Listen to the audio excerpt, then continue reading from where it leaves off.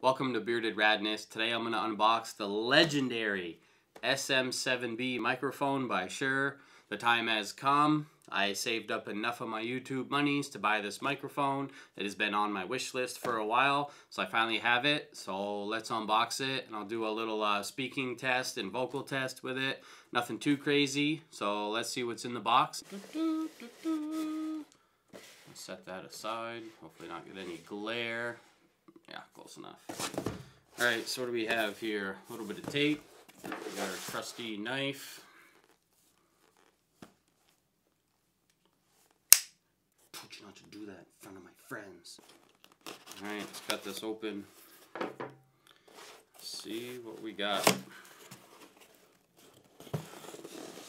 Well, for starters, as always, we have a pamphlet, some instructions,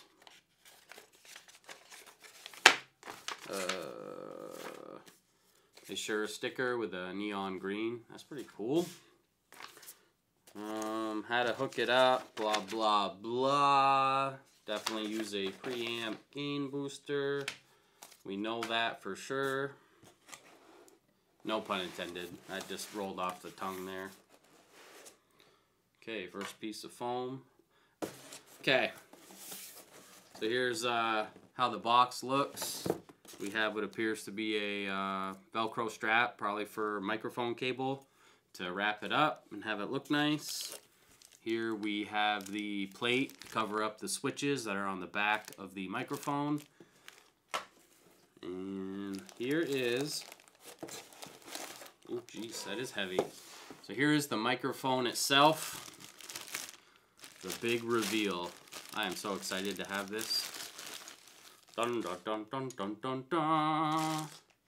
Set that aside.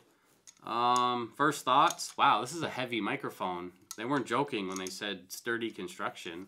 This is a fucking sledgehammer, bud. I think there's another uh, filter for it, pop filter you put on.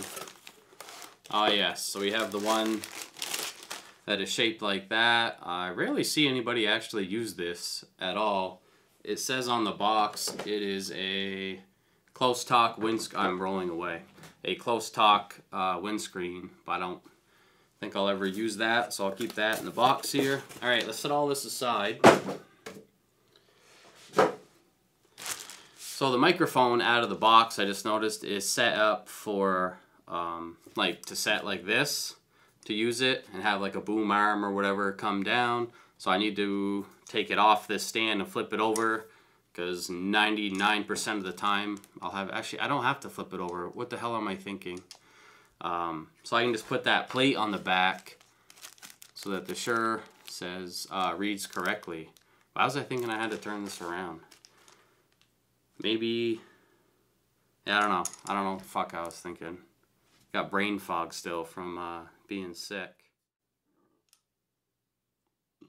Six and a half hours later. Okay, I take all that back. So looking at it more, I am going to have to switch it because the so the mic input here is on the back side. So when I'm using the mic on a stand or holding it or whatnot, it'll be facing toward me. Because right now that's backwards. And this wire that comes off where the microphone hooks up is kind of right there in your grip or in the way. So yeah, we do have to flip this around. Oh. This is still, this ain't right. It's not tightening up. Well, after a few small technical difficulties, I finally have the microphone set up. I have it situated how I want on the stand here, and this is running into my Klark Teknik preamp mic booster, and then directly into my Yamaha mixer. I have the EQ on there set flat, so you're hearing just the raw microphone signal as it was out of the box. I am going to do a quick little vocal demo, if you will. Uh, I put together a track with some bass and drums that I did last night. So I'll give it a quick little vocal test. Mind you, as you can hear, my voice is still hoarse from being sick. So yeah, this is uh, a little vocal test for you. That bass? Get wrecked! This is my microphone test here on Bearded Radness. Yeah, I think that's about it. Sounds like a banger to me. Thank you for watching this crappy unboxing. Uh, so yeah, I got a new microphone. That's it for this one. Stay rad.